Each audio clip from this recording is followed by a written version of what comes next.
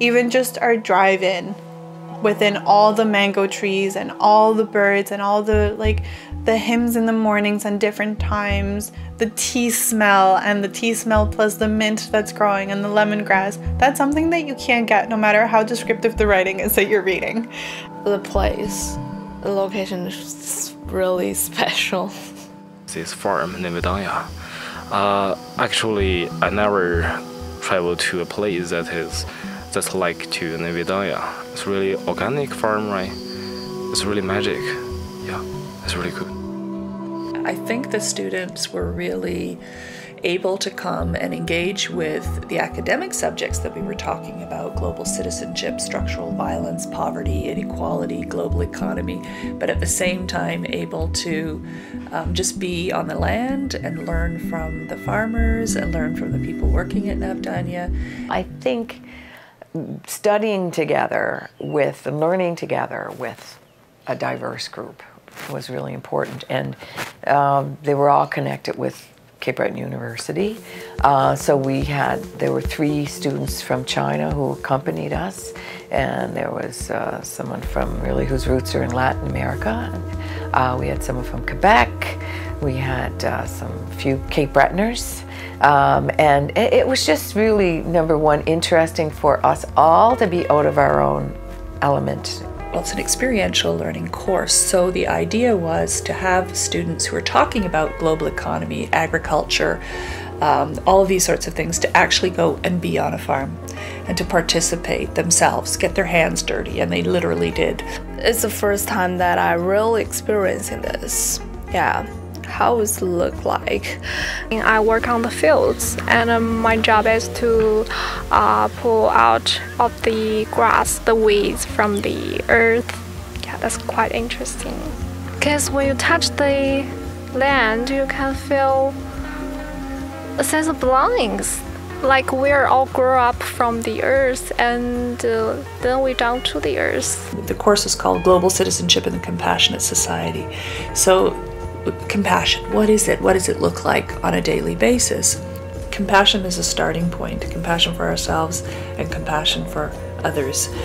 And I feel like Navdanya is a place that is really trying to live that uh, with all the challenges that, that that entails. And it's not about becoming a perfect person, it's about practicing on a day to day basis uh, with the challenges that we face wherever we find ourselves and breaking down those barriers as individuals and then as groups and then as communities. The short amount of time that you're there, but it's days that are full packed, that your brain's going constantly from morning till night, you really got in tune with that which I find is fantastic when you're trying to grow as a person and trying to grow as a group. We could share and laugh together and, uh, you know, wash our clothes in a scrub bucket together and uh, work in the field together and uh, try out all kinds of new food together and, well, everything was new and learn together. So that was really rich. If I'm being fair, if I'm being respectful, if I'm listening compassionately, if I'm implementing all these skills that we've learned, will in turn help for me to level up to uh, being a kinder human. How calm it is here at the farm, but at the same time, how much is done, and how a whole philosophy stands behind everything that is done here. And people here are they're genuine and they're devoted to this philosophy. And I find this really inspiring, and so I would like to embody this also, if I can, in my own home. So I had been using the works of Dr. Vandana Shiva in my courses for many years, and she writes about earth democracy. And amazing woman, environmentalist, feminist, uh, one of the original tree huggers and a real inspiration to me. And not just because of her work and her brilliance intellectually, but because she was somebody who, to me, practically demonstrated how one person can make massive change.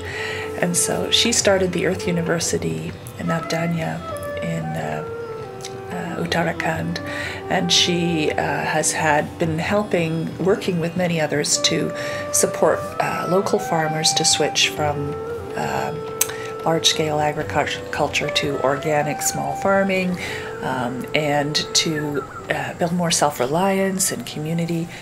In a very short time, they were able to provide an example at Navdanya, uh, barren, totally barren piece of land, turn it into an absolutely lush, productive piece of land using seeds, using a way of farming totally uh, dependent on organic processes, uh, composting, uh, using other natural, you know, insects and other ways. And it's really amazing. And now working with one million farmers. Imagine one million farmers in India. This kind of course really is designed to give students an opportunity to reflect on their own skills, their own intelligence, and to engage with one another and to practice sort of communication skills, conflict resolution skills, while at the same time sort of reflecting on their relationship to the earth and to other communities. Navdanya is impactful because it has built its own little community that is truly living its values.